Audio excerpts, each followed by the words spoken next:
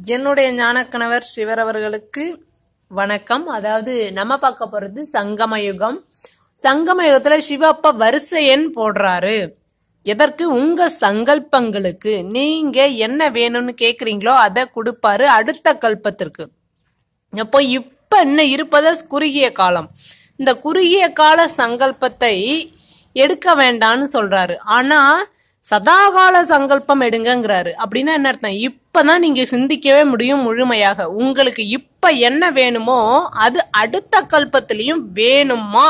அப்படின்னு யோசிச்சு சிந்தனை பண்ணி அது சுகத்தை கொடுக்குமா? அப்படின்னு சிந்தனை பண்ணி சதாகாலம் நிரந்தரமாக நான் இப்படிதான் சிவாப்பா இருக்கணும். உங்களோட ஒளிப்புள்ளியா இணைந்து இருப்பேன் நீங்க என்னோடு இணைந்து தான் இருக்கணும். ரெண்டு பேரும் ஒளிப்புள்ளியாவும் ஜோதி ரூபமாகவும் இணைந்தே இருப்போம். ஜோதி ரூபம் என்பது எரிப்பதற்கும் புள்ளிரூபம் என்பது இணைவதற்கும் அன்பு நம்பிக்கை சிவபுத்தி நன்றி கலந்த பணிவு வைராகியம்